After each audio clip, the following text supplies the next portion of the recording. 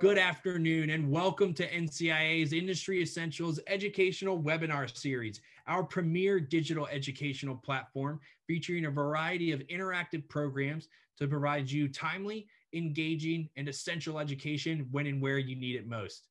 My name is Brian Gilbert, the Deputy Director of Events here at NCIA. And as always, I'm very excited to welcome you all to another edition of our long running Committee Insight series today being presented by NCIA's Diversity, Equity, and Inclusion Committee. Before we do get started, a final note to our guests who are joining us for the live stream on our Facebook. We'd love your direct interaction with the program today. So if you're an active NCIA member, follow the short link in our description to log into your account and join the conversation inside the Zoom platform. If you're not an NCIA member, follow that join now link to activate your membership or the register now link to purchase a pass so you don't miss out on this invaluable programming. Now, let's get this show on the road.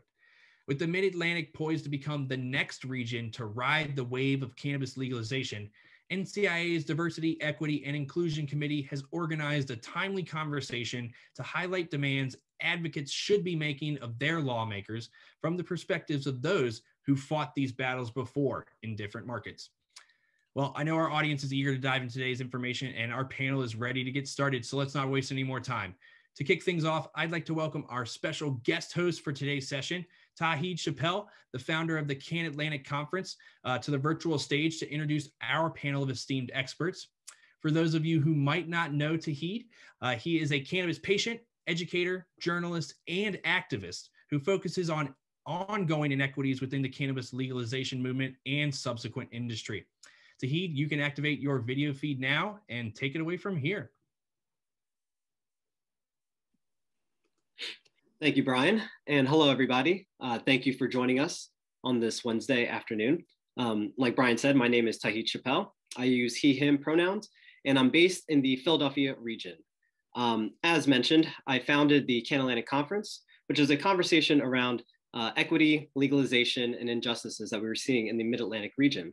I think the Mid-Atlantic region is a massive importance for the cannabis legalization space. Um, you have New York City, you have New Jersey, which an ACLU report in 2020 found that if you're Black, you are 3.64 times more likely to be arrested for cannabis in New Jersey.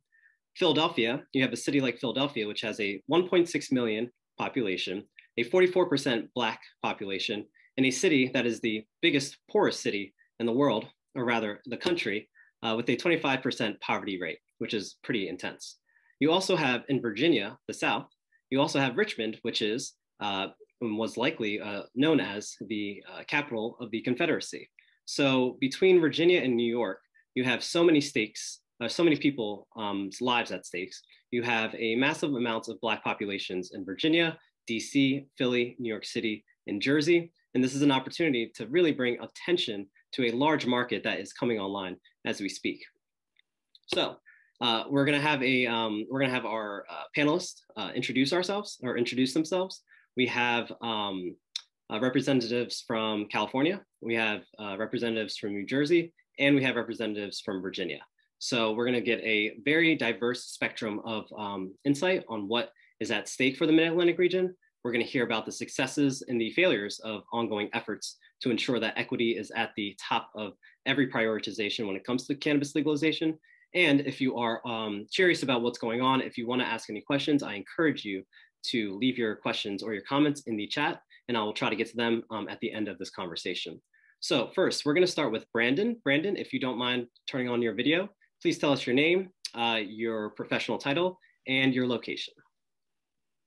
Greetings, everyone. Thank you, Tauhid, so much for that, that wonderful introduction. And, and, you know, it's an honor to be on here today. My name is Brandon Bolton. I am from uh, the state of California, the city of Sacramento. I am a member of the United Core Alliance, a social equity organization here on the ground level of California that focuses on educational development, uh, workforce development, business development, and also now expungements. We just ran our first expungement clinic uh, two weeks ago. Um, it is an honor to be on this panel with such esteemed guests such as Tauhid, Chelsea, and the others that are on this with me today. Um, I'm looking forward to you know really pushing policy or having the conversation of you know equitable cannabis policies because this is a consistent conversation and, and one that we all need to be engaging in from you know and, and have these statewide kind of conversations. So uh, thank you so much for, for the introduction. Thanks, Brandon. And um, we're going to get a West Coast perspective on this because we know that there's plenty to take from California, and Brandon has a bunch of information that we can learn from the West Coast. Um, Chelsea, do you mind introducing yourself, um, your name, your professional title, and um, where you're located? Thanks so much, um. My name is Chelsea Higgs Wise, and I am the Executive Director of Marijuana Justice. You can find us at marijuanajustice.org or on Instagram at THC Justice Now. We are, are we are an all Black run organization that works directly to repeal, repair, and bring reparations to the drug war here in the Commonwealth of Virginia. So I'm really excited to share a little bit more about what's going on here in the Commonwealth and hear what's happening across the Mid Atlantic and the entire country. Thank you, Chelsea. And Charlie, do you mind um, uh, introducing yourself, uh, your pronouns, your professional title, and where you're located? Thanks for that introduction. It really is an honor to be on this panel. super excited. Um, I'm actually an attorney in my day life in New Jersey, but I'm also the founder of Blaze Responsibly, which is my company I founded to help educate and empower other women and minorities to get into the legal industry because I navigated the process in New Jersey in 2019, having applied for a medical license, and it was very challenging. Um, and so I, I, feel like I, I owe it to the people to share my experiences and help wherever I can. Um, and I was also part of the NJ CAN 2020 Vote Yes initiative, which was successful but has its issues. Um, and I'm an executive board member for the Cannabis Law Committee. So I'm really excited to be here. Thanks. Thank you all for joining. I really appreciate it. Um, and if you all do not mind putting all your videos on, we will start with the first question, which is directed to everybody. Um, first, we'll start with the West Coast um, with, with, with Brandon. Um, can you just set the scene up for people who are who are tuning in, whether they're familiar or they don't know what's happening right now in California. What's the current situation? What's the current state of your market right now? Yeah, well, uh, back in 2016, Senator Steven Bradford passed Senate Bill 1294, uh, which really drafted the language for cannabis equity programs to be adopted at the local levels. And so we started to see that happen in, it happened first in the city of Oakland. They have um, the first social equity program. And then in the city where I am from, which I'm also a social equity uh, entrepreneur myself, in, here in the city of Sacramento, um, we got started in about 2018. And so a lot of these social equity programs are just starting to roll out. Um, there really aren't any mature programs here in the in the state of California um, because they're they're really you know some are just sunsetting up to their two year pilot points. Um, so we're starting to you know see a lot we saw a lot of initial challenges and now we're starting to work through a lot of those initial challenges. Um, but you know now we're starting to see you know really large community engagement. We're starting to see equitable policies. We're starting to see exclusive social equity licenses uh, be given to those most impacted by the war on drugs, you know, those communities of color. Um, you know, we're starting to see other ancillary markets adjacent to cannabis as well start to thrive in this social equity atmosphere um, in these communities. And we're just, we're, we're starting to see, you know, the, the communities start to, to thrive around the social equity um, uh, uh, industry, uh, cannabis industry.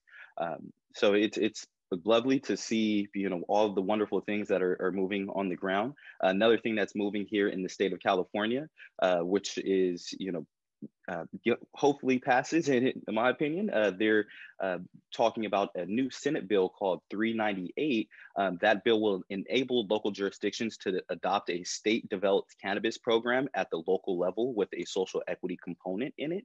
Um, you know, and although California is looked at as a maturing industry, there are 68% of cities and counties in the state that still do not allow cannabis businesses to operate.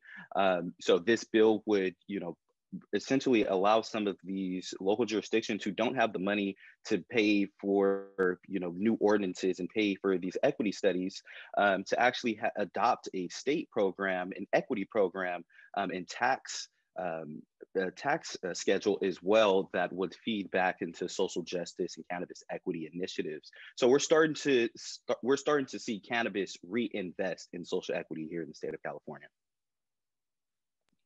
That is uh, that's wonderful to hear that that is moving at the state level.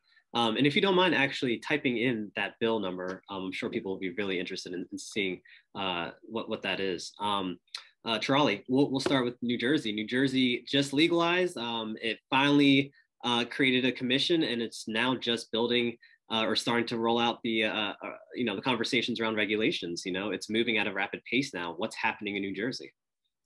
Yeah, it's uh, it's definitely moving quickly, um, but I also want to remind people not to buy into the headlines because what happened with um, S21, which is the legalization bill that we passed, there's a little language in there that says uh, once the CRC, so this incoming Cannabis Regulatory Commission, gets formed, within 180 days, they're supposed to come out with rules and regulations. That's really unrealistic because even though people think the commission is formed, it's only the five members that had to be appointed that was formed. The staff, the back end, the people who are going to be advising for these rules and regulations, that's to be to, to still happen, right? And so because um, I've had people calling me ready to sign up and telling me they're getting quoted by attorneys six figures. And I'm like, really? Uh, we're a year away. How are you going to hold on to your property for a year? You know, do you have the resources? So it's like, it's scary times right now. There's a lot of misinformation um, happening, but um, maybe I can highlight just some of the good things so that people can be you know aware of it. Um, at least 30% of licenses are supposed to go to certified women owned minority owned or disabled veterans which is a start. We're not equal. 30% is nowhere near what we need to be at but it's something. And what is also happening is that there's going to be an office of women minority veteran cannabis uh, business development to be formed to hold um, the state accountable to make sure that those licensing percentages are actually met so when you put accountability at the framework, it says something because we haven't seen it in the past, at least with the medical programs and a lot of other states with their equity programs. It's great on paper, and then when it comes to execution, it's a whole different story. Um, so that's a that's a benefit. And New Jersey's now, for adult use at least, we have several different licensing categories, and they added a delivery, which I think is good because it's probably the least expensive license to obtain and sustain from an application and infrastructure standpoint. So they're creating a little bit of opportunity there.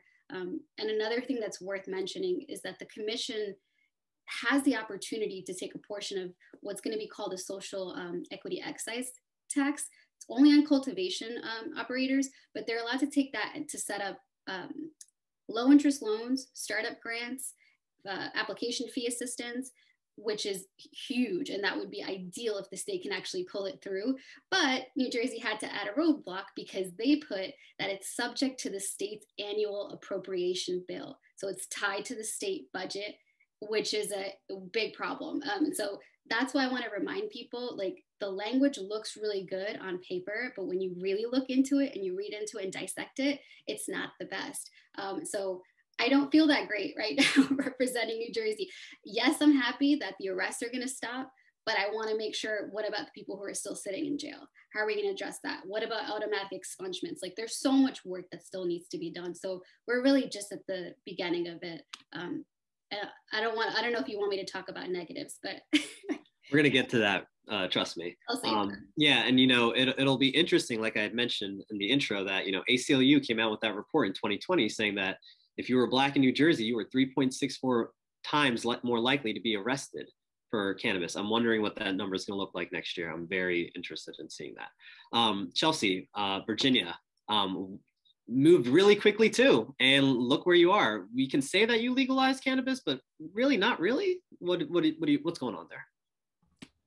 So, our current state of what uh, legalization is in Virginia is that we actually have a couple more weeks that we can still advocate to the governor to repeal the prohibition of simple possession this year. So, as Charlie was mentioning, that at least the arrests have stopped that's where we want to go. We want to at least stop the arrests.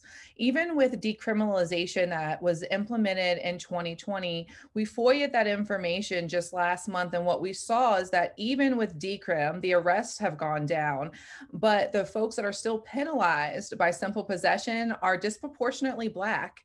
In fact, in Virginia, that same ACLU report that you talked about in 2020 showed in Virginia that you were four times more likely if you were Black to be policed for marijuana. Well, unfortunately, even after decrim, guess what the stats was? four times more likely to be policed if you're black, even after decrim. So our ask right now is for everyone to please, if you are in Virginia, to send out our action alert and um, that can be some i'm actually dropping it to the panelists. I believe someone else could share that with the attendees in one second. Um, if you're in Virginia to have your voice heard, you just fill out your information. It has our language already in there with our partners with the ACLU of Virginia, who have been great, uh, really working on this policing issue with us. So um, to answer your question, right now as the language stands, because nothing has been signed, let's be very clear just like Charlie was saying, headlines can can really mislead folks. There has nothing signed by the governor. So we can't even really see, say that we've legalized it yet for 2024. Um, so we're still in the amendment process where even our legislators, particularly black-led legislate, black legislators, progressive legislators, um, who sat out the vote because it did not hold this repeal language, it did not hold the resentencing language, it did not hold the release language. It actually the only thing that Virginia passed. Um, this is really important for people to hear. The only thing that Virginia passed was to set up the Virginia Cannabis Regulatory Body, the Virginia Cannabis Control Authority, to so that they could start and be ready in 2024. A lot of the social equity figures told us come back next year. Policing, come back next year. Crimes on youth, come back next year. Repeal, come back next year. Literally, the only thing that the Virginia legislators decided was that we're going to have some kind of way to collect profit, but told the people, wait hey. And so, um, fortunately, after two years, because Marijuana Justice and ACLU and Rise for Youth um, have been working on this for two years, particularly around the policing, the desperate policing part, which is why we named our organization Marijuana Justice. We believe in the in industry inclusion, but what we've seen across the country and watching folks is that even with the industry inclusion, which has not been great, the policing and the funding towards how we are still policed around marijuana has actually gotten worse in many places. And I'm looking at you, Brandon, in California, right? And so um, we're really trying to have the focus of yes, we're going to be included in this industry, and you're not going to just put more money into policing Black people in a different way. Um, I'll talk a little bit more about that in a second, but some good points, uh, but really quickly, um, that we did get in that again we'll visit next year um, were that number one, we banned vertical integration except for um, medicinal companies so that they can also provide this to patients as well as being co-located on their spots. And then certain guardrails uh, for once our commercial market starts to be implemented. So that was something that we were really excited. As well as with that exception of vertically integrating for our medicinals they pay $1 million into our social equity fund that we have called our cannabis equity reinvestment fund that is not conscious is not subject to the budget. it's completely different. Uh, yes. And so that is actually the startup money so that in 2024, when our social equity applicants, operators need a zero to low interest loan, that money will be ready for them. So we're really excited about that. Um, we're also really excited that we were able to get in an independent agency. Virginia governor actually wanted this to be under ABC. And I don't know if y'all have ever tried to buy liquor in, in Virginia before, but it's an ABC store y'all didn't want that. So anyway, um, we were able to get an independent agency. Last uh, like last uh, minute to the conference they included our language of micro businesses which i never thought was going to be a thing. So we ban- banned vertical integration but we said hey if you're going to do that we do want this integration for our micro businesses so that was a huge political advocacy informing point to our legislators had never heard of this concept before um, so really excited for that. And then finally, our social equity language um, is in there. We have a social equity program. We're still working on defining the impacted zones and the applicant for next year, but we are excited for having that framework there. Um, wish we had done more in removing the policing, but um, I'm gonna can, you're gonna hear me say a couple of times if you're in Virginia, this is how you can help us out these next two weeks. Wow, Virginia. Okay. All right. Well, y'all are moving. Um, you know, speaking of last minute, uh, Brandon, we're going to start with you on this question.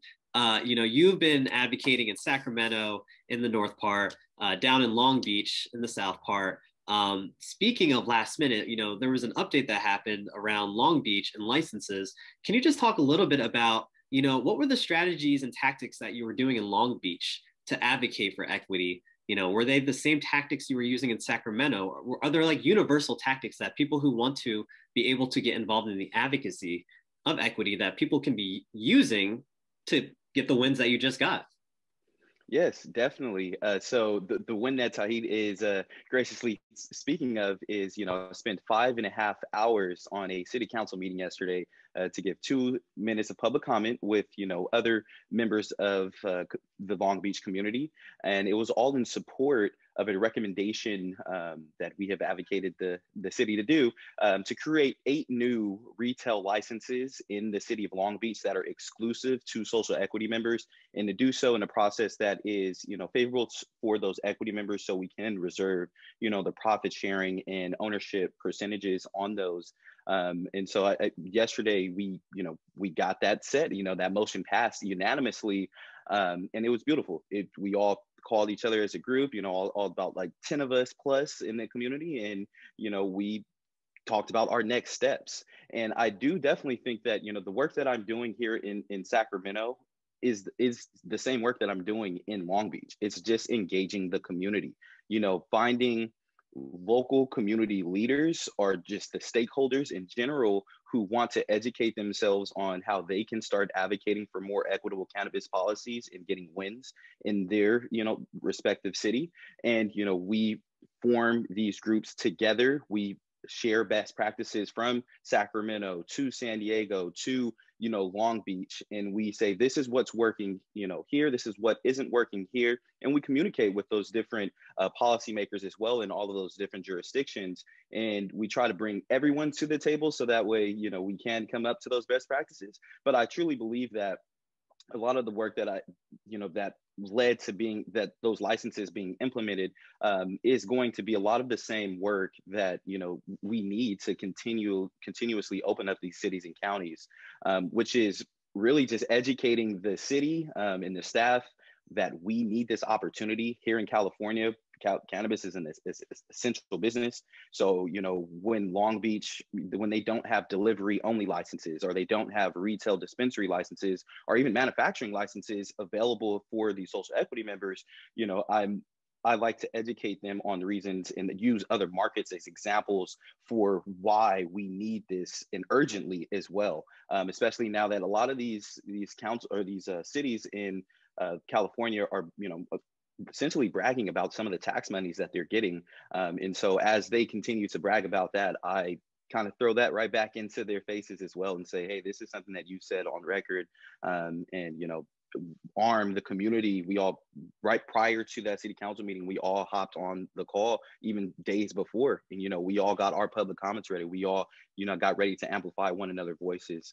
Um, and we all are educating ourselves and the community. So I think that this is definitely a, a, a, franchisable thing. And, you know, I think it's going to look a little bit different in every city and every jurisdiction and state because it's just different. Um, but I think that, you know, as long as we have what the base foundation of that is, which is just community engagement, support from the communities of colors who want this to happen, um, that's the first step. Um, that's a great setup. Uh, we have success. We see success when we work together, when we when we train each other, when we educate each other on on best practices and things that we're seeing in other markets. Um, and you know that that is critical to to make sure that even things that maybe you know seemed as small steps are major steps in the direction of equity. Um, Chirali, let's, you know, we're going to circle back to New Jersey. Um, there's been so much advocacy for equity in legalization um, for for New Jersey, um, but the bill, as we know, as you and I know, as, as some people know, 821 S21 isn't the most equitable bill still, despite all the um, amount of uh, activity that's been going on for years. Um, you mentioned, you know, the negatives. You can talk about that, but but also, can you just talk about, you know, what are some cautionary tales of, of what's happening in New Jersey despite legalization. Yeah, the, the problem is um, one, New, New Jersey is probably one of the capitals of big pharma. We have a lot of pharmaceutical companies who have lobbyists for years who were spending a lot of money in Trenton to influence rules and regulations. That's one aspect of it. And, and then you have the lobbyists in the cannabis industry that are lobbying for multi state operators. And they want to influence the industry in a certain way. And these are public records. You can see the donations that were made to political campaigns. And so you know who's talking to who. And so when you have advocates who don't have that power of, of money, cutting checks, um, or potentially having the right in, um, even the right in might not be it because you need to have money walks in New Jersey. That's the reality. Um, if you can cut a check to the right people, then they're going to listen to you because I spent years um, trying to get somebody to listen, right? Sending letters, testifying in the Senate, and aligning with the good organizations. And everybody fought really hard. Um, and all they would say, the senators and assemblymen, women, they would be, they'd be like open to the conversations and open door policy, come on in, you like share your ideas and thoughts. But if at the end, it never got included because the voices that are controlling Trenton are way too loud. Um, and so how do we figure out it's the, the challenge is how can smaller groups come together to really stand up? And part of that is by creating what, you know, things like what Brendan and Chelsea spoke about, equitable best practices. Because my belief is unless you show them how to do it, they have no idea. Even though New Jersey stated we went to Colorado and we looked at what they did, well, you probably didn't because they took years to get it right and they went through a lot of mistakes. And so we have examples of states, you know, to look at. Um, and so it's frustrating, but my the little silver lining that I have is that this incoming CRC, Jeff Brown and Dianna Houenou, um, she was with the ACLU. She's a strong Black woman, and she's going to run this show. Jeff Brown was the former commissioner of the um, the medical program. He cares about the patients because I don't want the medical program to falter like it has in other states because I care about that. So when you have two people like that coming together, I feel like the gloves are going to come off and they really get to dictate the show. And that's where we get to do our part right now, which is helping influence those rules and regulations that are going to be shaped because they're going to need an advisory board, they're going to need staff members. And so people who are like us who want to do the right thing can get involved right now. Um, and so that's just something that I wanted to add. Um, if I can just really quickly mention the negative, because we have micro licenses in New Jersey. And so everybody's really excited, like, yeah, we have micro licenses, which seems like a win. But they've actually set such a difficult requirement because you have to be 100% owner of, as a New Jersey resident, which sounds really good. I understand they want to give incentives to New Jersey residents, but when it comes to raising money, unless you can self fund yourself, to pay for that, how are you going to give up equity to an out of state partner who has experience or has money, even if they did 90% residency? You could have gave out 10% of equity and got the money you needed, got the experience you needed to build your plan. Instead, they're like, they're tying your hands because they're like, we have micro licenses, but you have to raise your own money. And the income requirements are you can't make more than 200K. If you live in the state of New Jersey, even when you make $200,000 after your bills and all of your expenses, you're not left with that much in savings. So are you going to dump in all of your savings for this license?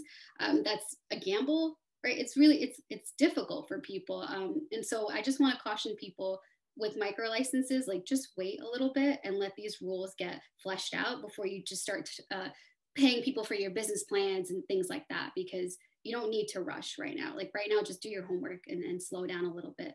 Um, Oh, segue. Perfect. Perfect. Do your homework prepare. You have to prepare. Chelsea, I'm just going to toss this one up to you. Can you talk about the prep work? Can you talk about the work that allowed you to say reparations and people knew exactly what you were talking about? Go for it. Yeah, so I just really want to lift everything that Chirali just said because the voices that are in the room, um, why I have chosen to do this very public push because you can't ignore us, but so much um, if we're so public. Um, it's just so important. And I learned that the hard way of not being listened to. And so my pre- preparation work was a lot of things that I felt like didn't work. But something that did really work that we actually follow from out in New York and some folks that have been working with DPA for a while was to do a study. Now, again, what Chirali said, we have to be really careful about how we do these studies and how we look at other states. So we were really intentional when we um, actually saw that there was a study happening in Virginia. We looked at that bill language all, and none of it had anything to do with social equity, unfortunately. And so we went to a senior senior senator. This was in 2020 last year when we were working on decrim, right? No one's even talking about legalization. The uprisings of the summer have not happened. Everyone's thinking legalization is years and years, and almost people tell them it'll never happen in Virginia in the South. but we saw this this study coming and it was actually just a work group not even a study and so we went to a senior senator senator mcclellan who's actually a black woman running for governor right now but she had that clout that voice that people would listen to. It was already in general assembly so we were again asking a lot okay to to propose a whole resolution that um, would have this study. Now, in Virginia, we have um, an, a body called JLARC that is an independent body that does legislative uh, study reviews. So prior to me even going to this legislator, I'd gone to them and said, Are you all interested in this? The way Virginia works, they get to kind of decide. So looking at what your state does and how your state does studies, what studies and what bodies do studies, because some some legislators wanted me to go to the crime commission to do a study. I said, right there, I don't want, I'm not going to the crime commission, um, by the way. So, and, um, but they, that's what they wanted the study to come from, because again, the, the allowing this to continue to criminalize folks was the pattern that cannabis had been taking in Virginia prior to groups coming in looking at the legislation for that. So we wrote out the bill ourselves with ACLU of the study, what we wanted to see, what we wanted to see from each state. We worked with this body over the summer to see what they were looking at. Now, um, this is a very in-depth report that came out in November, right before our body, our, our General Assembly proposed the bills in January, right? And it was for this timing um, even though they told us it would never be this year. But let's just say, thank goodness for timing, and we made them have it done quickly, right? Um, now, with that study, it wasn't perfect. I'm going to tell you, I don't love everything in it, but especially on the regulatory things, we were able to point out what was good, what was bad. And this was the only point that we had a lot of times to inform the legislators when they looked at me like a I mean, I'm an I'm an organizer, y'all. You know, I'm in, in the summer in the streets. People know me as a as a as a police anti-policing organizer. Like, what are you doing in marijuana? And I was like, you don't know what I'm doing in marijuana if I'm organizing its police. Um, but this is how disconnected these issues are, right? And so when people weren't listening to me, it was the advocates and the experts in the room with JLARC that showed up and were able to, to give these points of no, not under ABC. They even made a beautiful little chart that said why an independent agency versus ABC would actually give more equity. I mean, they gave great things that we could point to. They have a huge map that goes through each district of Virginia and and so I know in Richmond we were six times more likely if we were black. In Arlington they were 14 more. It goes through that and it gives a even a little bit more than the ACLU reports, right? So and then that's how we were able to get this cannabis reinvestment fund. So these are the points that we've said. So look at to who else was doing this. Look at what Illinois was doing. How Illinois didn't do it great, right? And and unfortunately, things are moving so quickly. And I'm I'm going to uh, wrap up to reparations soon even in New Jersey, I was following to you all through December, through now, like still informing the legislators. Well, the update on equity is actually this because it changes so much because we're learning every day, y'all. So, why did I know reparations? Because marijuana and the drug war has always been the gateway to the drug war. It's not just about cannabis, y'all, it's about a community of people that have been marginalized because of a plant and so when we're looking at reparations, I, I, I see the conversation happening and some, some few points about reparations are an official acknowledgement, an apology, and public education memorials for that. We're doing that now, right? All these research studies to say what's impacted. We need re education of that. That's something we're still working on. Um, compensation for specific and defined groups. Well, hey, we can define the group that was emphasized and impacted, right? From arrest, from convictions to the family members. Yeah, this is this is part of these reparations infrastructure. Uh, looking at action to restore individuals. These are expungements. These are release. These are resentencing, right? These are the steps of what a real reparation structure should look like.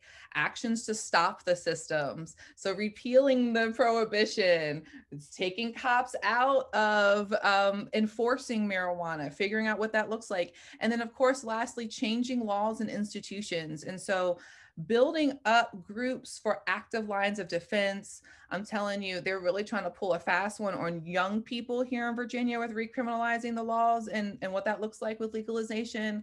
Um, shout out to what new jersey was able to pull up with your young people because virginia don't see it that way and and so when i when i'm able to talk about reparations and the prep work y'all what i say is know your space get a study done that they can't ignore and look at what the reparations standpoint structure can do for your area to really to build something sustainable in a new institution that that can't be quickly recriminalized like we've seen so much since res- reconstruction right? Like this is what this is what they're good at and we're not we shouldn't allow that to just happen with the cannabis industry.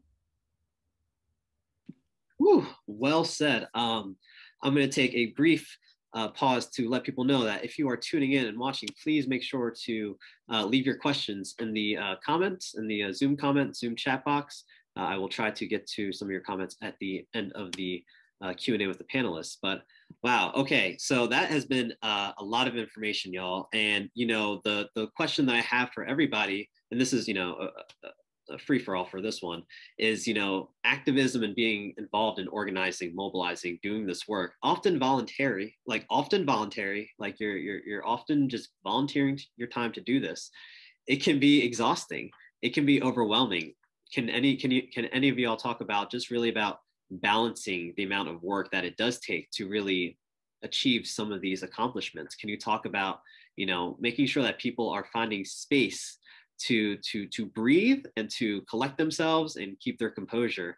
Uh, everyone is running at a thousand miles per hour. What does it take to to not get overwhelmed in this type of work that is so necessary and critical? I'll open it up to everybody. Passion you have to love what you're doing because I mean, I'm sure all of us, like, I work a full time job and then I work another full time. So it's like the, I've become used to now being okay with 12 hours because I realize like the daytime I need the paycheck I need to I need to survive and the rest of this is like my dream. That's my that's my purpose and I know what I'm fighting for is for the greater good. So the fear is out of it. There's no more fear there's no more exhaustion. It's just like I got to do this because I waited too long to do this and that's why i feel like i can't be part of that failure right? Like i feel like i could have spoken up earlier in new jersey um, but i was waiting because i thought there was going to be other people that will that were going to do it um, and then i realized when you want something to be done the right way or your way whatever that is then you just need to go out there and do it. And so i find balance by reminding myself consistently i am enough. I'm fully capable just like everybody else.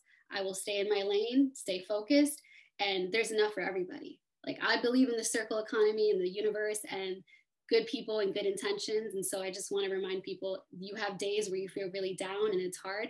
Hey, you got cannabis, right? Like I could just, I could, I feel a lot better then. And I know because I love it so much. And so it's like you just come back to like, what is your purpose in all of this? Remind yourself as, as many times as it takes, but this is the work that we need to do. And so, you know, I mean, I'm here for that. I wholeheartedly wholeheartedly agree. Um, you know, spending that five and a half hours on the call, like it's volunteered my time to do that and it's it was for the community members down there and what made what makes this such an incredible and a dream for myself is just those conversations after you know a five hour city council meeting with you know multiple community stakeholders there that are all that are from communities of color um, that have been you know disproportionately impacted. And just the way that we can you know really come up with game plans together on how to move the policy and we're sophisticating ourselves. We don't know we didn't understand how to do this work. You know we had to learn how to do this work. We're still learning how to do this work and the most efficient ways to do this and it takes that passion. It takes one another. You know there's some days where i just completely want to give up and you know there's my business partner my community members they will not let me and i will not let them um, you know so I, I really think it's it's us it's each other it's these conversations that continuously drive us and drive myself I'm gonna say yes to all that. Join an organization, follow people. Don't do this by yourself, even if you feel like you're by yourself in your state, which might be true. I'm not gonna lie to y'all. Um, follow other people across the country because that's how we did it. Um, I am lucky enough to work for this organization, but I built this from the ground. This did not exist two years ago, and um, I don't get paid very much, but I do make sure that folks that help us that are Black are getting paid. And so um, it, it is a lot, but it's like I you have to have the passion, but join and don't feel alone. Chirali, there was something that you mentioned about micro businesses or micro licenses in New Jersey that they were good on paper, but there were certain lines of words and language that put together actually uh, made it a lot more difficult than people seemed. Um, this is a question for everybody. You know, how can we help community members who may not be versed in policy really who never you know i didn't i wasn't reading bills years ago. Like i just started reading bills and starting to understand the policy and a little bit of the language. But for people starting off when when they're introduced in activism and you know they're they're said hey you should go read the bill and see what it says how can people build their acumen so that they actually understand the words what they mean what the impacts are or what the interpretations could open things up for? I'll, I'll open that up for everybody because obviously we all look at different language how do you how do you make sense of it? For, i obviously have a, a bias because I went to law school, so I have that advantage where I. Had, if you're a lawyer, then it's easier, I guess. Grueling, yeah, but I have that. Um, but for anybody else, like I recommend going to like what Brandon said and, and Chelsea, right? Going to like public forums. There are city council meetings weekly. There are state uh, meetings that are happening on a regular basis. So attending these public meetings, which are now virtual, is the best thing that you can do to learn what people are, what terminology is being used, how it's being said. Watching and learning is the best way and it may seem tedious but reading the bills multiply like it'll help you because i read bills two three times maybe even more and then i understand what i actually just read. The first time it's like what is this? And and, um, and it's coming from somebody who should know how but it's not easy language and they do that on purpose because they want you to be confused and convoluted. And i just have to give an example of my favorite word which is may. May is not mandatory. May is not shall. May is an option. May will change the entire, it dilutes the power of that provision tremendously. And people don't realize that. They see may and they're like, oh, look at this, they're going to do that. No, that's that's not mandatory. And so it really is critical to know to know you know what the legislative intent is, what the purpose is, and how these words interact. Um, but if you don't have anybody to reach out, I mean, I'm a resource. I'm happy to help at any point. And i'm sure there's other partners organizations that people can tap into but really watching in real time how the legislature uh, votes on things that's the best way you can understand and just reading as much as possible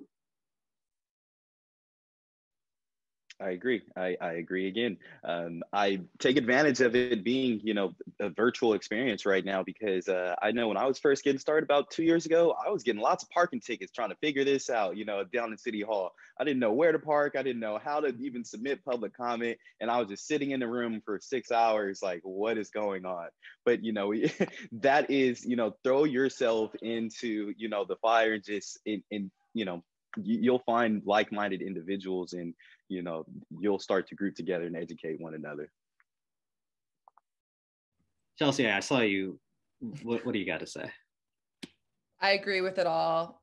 Make sure you are working. I just want to say work with other people. Like if you're in virginia or have questions feel free to reach out and dm me. Like some of this language is is ridiculous for you to read so many times when you can maybe just ask people and something someone told me is that if you're showing you're working hard then other people are going to want to help you so just remember that too. But definitely may versus shall.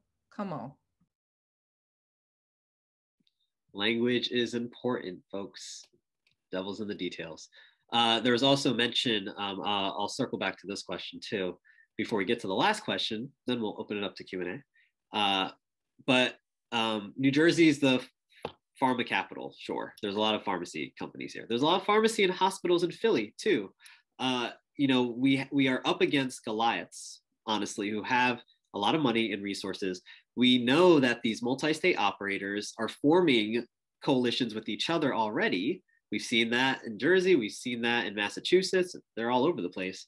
How do we work together? How do we build a base and, you know, still in a pandemic, build capacity to get people to care about this, that they want to spend some of their time supporting this or working? uh, on, on, on these types of initiatives? How do we how do we make sure that we're educating people, but we're also making sure that people recognize that this is an urgent thing that can be addressed immediately? I'll open that up to the group. Yeah, um, I, I really believe in the power of unity. And so I've been recently asking the universe to send like minded people my way because I know what I need to do, I can't do alone. I need a team of people who care about the same reasons and want to do the work that's required.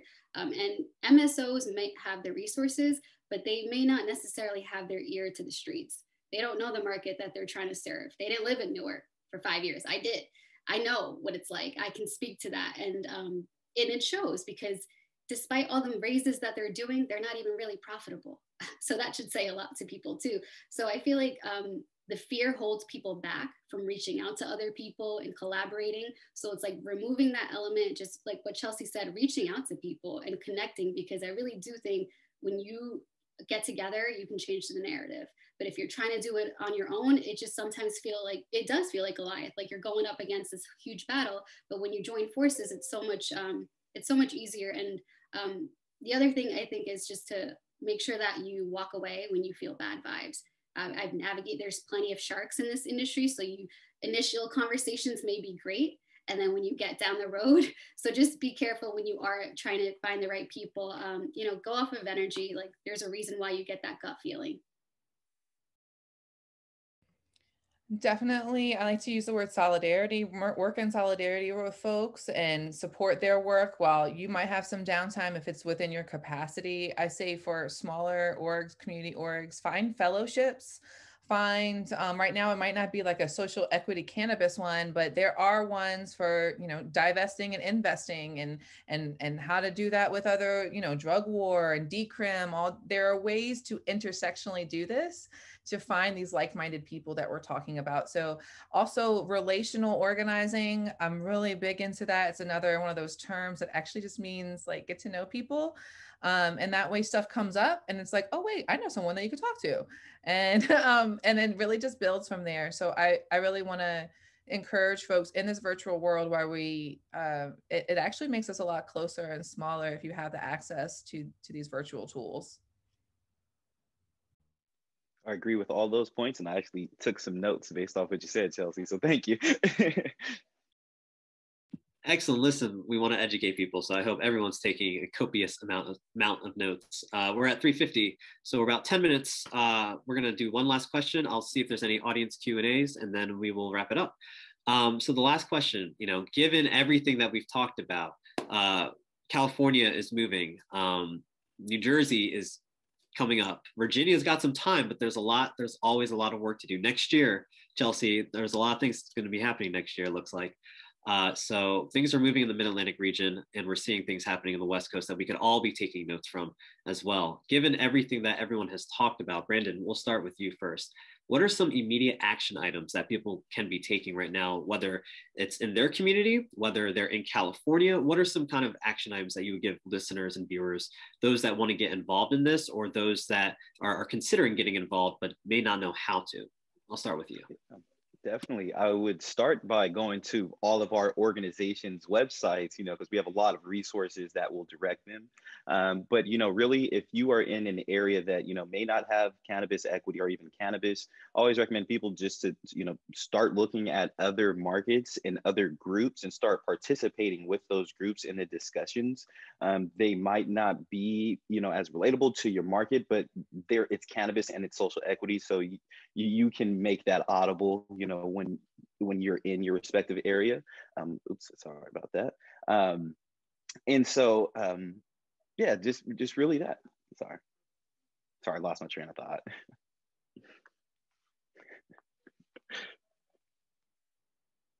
Uh, chelsea i'll go i'll go same question to you Okay, great. So, um, number one, thank you for following marijuanajustice.org and subscribing at marijuanajustice.org. You can also find the donate button and become a monthly don- donor to Marijuana Justice, even if you're not in Virginia. No sustainable investment into us is too small. Uh, we are really trying to next build out some of this information for other states in the South. I saw that there was a question about conservative states and what we understand in the Virginia legislature, and we are not a referendum state, so we have to do things very differently. And so um, continue to support us at marijuanajustice.org. Uh, make sure if you're in Virginia to sign that action alert uh, done by our partners at the ACLU to tell Governor Northam to repeal the to repeal the possession of um, the simple possession of marijuana this year, and please do not wait. And um, also, if you are looking to talk about marijuana, y'all, let's let's not just talk about legalizing it. We really want to start a narrative legalizing it right. And so hashtag legalize it right is what we're encouraging people to use because we can't just legalize it anymore. We got to know it's about intention and doing it the right way. And maybe we can create that right way together. So I'm really excited. So thanks so much for everyone uh, following Marijuana Justice and on socials, it's THC Justice Now. That was awesome. Um, I'm going to definitely connect with you, Chelsea and Fred, and both of you guys. Um, so anybody in New Jersey and beyond, please connect with me. Find me on LinkedIn or Instagram, Blaze Responsibly. I post a lot of free information um, just about the industry in general. I'm really trying to give attorneys a run for their money because I'm done watching people get ripped off. So I'm going to build best practices. I'm going to put together a workshop series, literally just trying to give you guys um, resources and tools so that you can be better equipped for when it comes time for you guys to have the conversations and start with your plans. Um, so if you're really looking to get involved, reach out. If you have ideas on how to improve the legislation, future rules and regulations, like I mentioned, the time is really right now because our incoming Cannabis Regulatory Commission is just being formed. So use me as a resource and stay safe, blaze responsibly. I wanted to squeeze one last question, and I'm going to toss this one to Chelsea. Chelsea, the question is, how do you deal with haters? You know, you're in marijuana justice. You also run a successful uh, race capital podcast, which is amazing. Uh, you're on your own media outlet uh, with your partners. So, how do you deal with the haters, real quick? Let, let's just end there, real quick solidarity with other people. I keep saying you can't do this alone because the haters are going to be there. And, um, you know, so in conservative states, gather your like minded thinkers. Remember, this is a prison justice, prison reform topic. This is a policing topic. This is a farming topic. This is a land back conversation, right? So this is uh, truly a conversation to, to build more. So, how do I deal with the, deal with the haters? um, have a group chat that I can trust and just vomit, react in instead of doing it publicly. Um, and be ready for those same narratives to come up in legalization and legislation and be ready to fight back with data, experience, and collective voice. Wonderful, wonderful, wonderful. Brandon Bolton from California, Chirali Patel from New Jersey, Chelsea Higgs Wise from Virginia and me from the Philadelphia region, Pennsylvania, and New Jersey. Uh, thank you all for your wonderful, wonderful conversation, your wonderful advice, your wisdom, your perspective. Uh, thank you, NCIA, for allowing us to organize this and make this come to life. Uh, Brian, I'm going to pass it off to you, and we will be sharing our contact information. Please be sure to follow us uh, on Facebook, Twitter, Instagram, yada, yada. Uh, and thank you for watching, everybody. Brian. Fantastic, Tauhid. Well, thank you, first off, for leading such an informative and insightful conversation with our panel today. And thank you, Brandon, Chelsea, and Chirali as well for taking the time out of your very, very busy schedules uh, leading the fight for cannabis reform on the East Coast each. So thank you all so much. Um, if you all enjoyed the session today, why don't you give some feedback to our panel um, by uh, participating in a virtual round of applause. If you enjoyed today's panel session, yeah, raise your hand in the audience pool. We'll all get those pop-up notifications. We love to see that. Fantastic. Um, and again, as uh, Tauhid and the other panelists mentioned, please do make note of the contact information and social handle information contained on this contact slide. Uh, we will be sharing a PDF presentation of today's uh, slide deck so that you all have that as reference as well. And then um, additionally, stay on the lookout to your email inbox as you all will be the first ones to receive a formatted video recording of today's session alongside all of the NCIA members that participate in our members only community platform, NCIA Connect. Um, so stick around for a few moments. Um, we're going to close out today's program with our typical outro of the segment. Um, and if you all want to participate and engage with the uh, panelists inside the chat room during that time, uh, feel free to do so. And then any additional questions that you might have that pop into your head, post them onto the Q&A board, and we'll use that as a launching off point for a post-broadcast conversation inside of NCIA Connect later this week. Okay, perfect. Well, for all of you all that are currently not an NCIA member, I do want to make note that we currently have nine webinars scheduled between now and the middle of April, which are all free for current NCIA members. If you're not an NCIA member, please activate your membership today to gain access to this and all the other amazing benefits offered. Um, or you can continue to purchase those non-member passes to continue engaging with all of our invaluable programming prior to taking the plunge on an annual commitment. All right. And with that, thank you all so much for participating in another NCIA Industry Essentials educational webinar um, as someone who got my start in the drug policy reform uh, field and cannabis industry uh, by joining a Students for Sensible Drug Policy chapter at the Virginia Commonwealth University in college. Uh, I can't thank Chelsea and all of the other activists that are um, really leading the fight for an equitable uh, industry on the East Coast. So, first off, um, a huge heartfelt thank you um, from everyone here at NCIA for all of the efforts that our panel um, are coordinating on their fronts. Uh, huge thank you as well to all of the members of our Diversity, Equity, and Inclusion Committee for presenting today's session along with our audience members and of course the member businesses uh, which make our work possible each and every day. Yeah, Chelsea, it's it's awesome looking at your all's website and seeing so many familiar faces. uh, please complete the attendee survey after leaving the meeting room. This will grant you all immediate access to our presentation file. And as I noted previously, do note all NCIA members receive exclusive 30-day access to all the formatted video recordings of our industry essentials webinars that are first posted in our NCIA members only community, NCIA Connect. As always, we'll leave you all with this end of event credit sequence highlighting the 20 plus member businesses that make up the Diversity, Equity, and Inclusion Committee for this term, as well as all the member businesses that participated in the session as well. If you don't see your company included, that means you need to head to thecannabisindustry.org slash join following today's session to join the movement for a responsible and equitable cannabis industry. To switch things up again uh, a bit, we'll showcase some lo-fi audio stylings by yours truly. I hope you all enjoy, and we look forward to seeing you all next week for another Industry Essentials educational webinar. See you next time.